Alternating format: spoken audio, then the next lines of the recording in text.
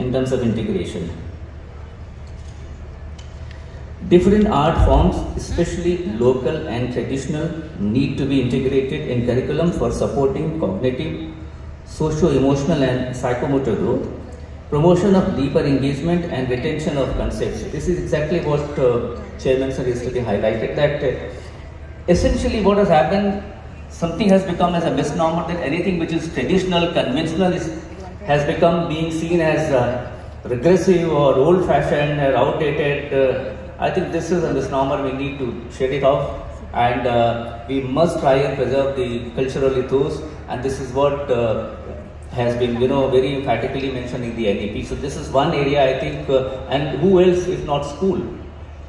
Schools need to focus on arts-based training for their teachers, promoting local and cultural practices and enhancing students' engagement through arts integration. Next recommendation is school leaders and teachers can explore culturally responsive arts integrated strategies to foster safe and inclusive classroom. Yesterday, uh, Chairman sir also mentioned that if a school decides to showcase Madurai or any city for that matter, I think the whole ecosystem of a particular school can take that as a project and reclaim the entire city in terms of its uh, cultural heritage, you know, antecedent and stuff like this, and that can itself be a project. So this can be thought of. Teachers need to work on the art of listening and speaking to empower our children with the required soft skill to meet the demands of the 21st century world. Uh, I would specifically mention the one of the paper presentation, uh, Dr. Uh, Mrs. Hema Malini. Is she there? Ma'am, your presentation was excellent. I mean. It was data driven. It was very crisp. You discuss about the alternative hypothesis. You discuss about null hypothesis. Uh, you know, the government of India had, you know, that there is a scheme called midday meal. Why was it launched? Why is it still in place? It aims to serve certain purposes. When we are discussing being a, actually a good school, so to say, a well-off school, the government of India was considering the people from the marginalized section. How do we bring them to the school? So ensuring the engagement in the school system, ensuring the attendance in the school system, ensuring that this, the stomach is full before you actually go for education and learning right? So there is a correlation between a hypothesis and an outcome. Each time when you make a paper presentation, please ensure that where is a validation. I might have done something which I consider as sensational and crazy stuff, but that has only engaged or improved the attendance, but has it actually resulted in academic outcome? If it is not, then the positive correlation is missing. I have made my classroom interesting. As a result of which, some of the naughty boys and girls have started coming back to school maybe for a week, for a month. But if that not done on a sustained period and does not result in academic outcome, that innovation has not served its purposes. So each time when you take up a research work, please keep tangible outcome in mind. This is very, very important. What was very satisfying for me to note that, you know, when uh, uh, I took charge from Dr. Ramshankar, uh, he said, sir, uh, we have also given an option to the people to submit their research paper and we ended up getting around 169 research paper.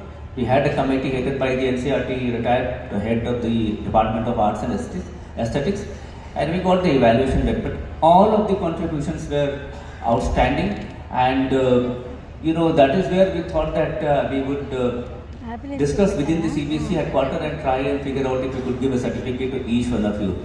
So congratulations to all of you who have contributed for this.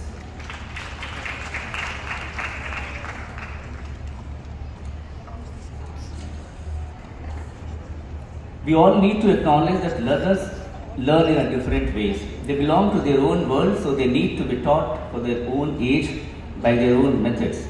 They no longer be seen as passive receptors of information, but instead active participants in the construction of knowledge. We need to admit transformation that comes from within rather than being imposed from outside. If an egg, jisko kehte hain, if an egg is broken by pushing forces from outside, the life ends. But if it is allowed and the forces within, if that breaks the egg, life begins. This is the difference one has to realize. The fact that we this this gathering had the blessings of the Honorable Chairman CBSE. Uh, we are grateful to sir that he spent a lot of time with us and uh, gave his uh, thought, uh, you know, to all of us as to what, how what he expects from all of us to be doing it. The presence of uh, Honorable Controller of Examination, Dr. Sanyam Bhardwaj, despite his very busy schedule, because you know that November, December is such a great, uh, you know, busy and hectic schedule for us. Dr. Ram Shankarji coming all the way from uh, uh, Dubai. Then uh, Dr. Pragya Singh, Director Academic, Dr. Vishwajit Saha, and all the people who are there on the front seat. each one of them, they have their best wishes for this conference. And we could do this only because of the collective support of all of you. Uh, I have to tell you that uh, we were a little skeptical about uh, Madurai, not in terms of uh, anything, but in terms of infrastructure. But believe me, this hall it was a great uh, discovery for us. And uh, kudos to the Sahodaya, uh, Madurai Sahodaya team that they could find out a hall like this. And uh, we never felt like that we are not in a metro city. We felt like we are in Chennai or Bangalore or Delhi or Mumbai. So kudos to you, to the entire team.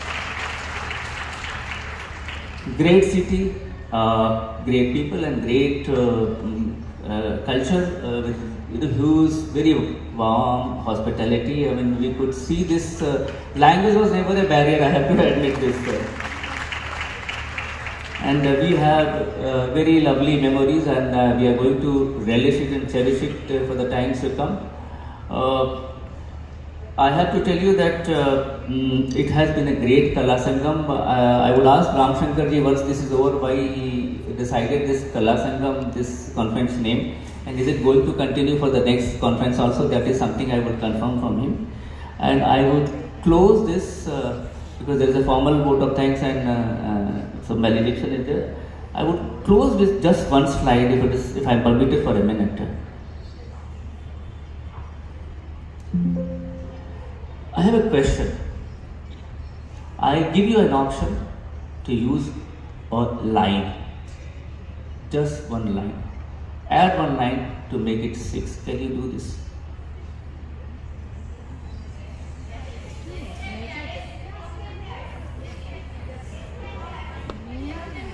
S. Put a S.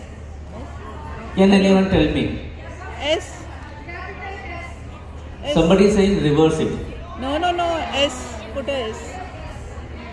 Put a S. So, so we are all trying to figure it out how by adding one line it can be made six. Because the moment we say line, the mind is so conditioned to see only straight line. I never said straight line. I said line. It could be a curved line also. This is how hardwired we are. Please, please allow all kind of uh, you know possibilities to play, especially when it comes to children. And uh, for me, I am going with a lot of satisfaction.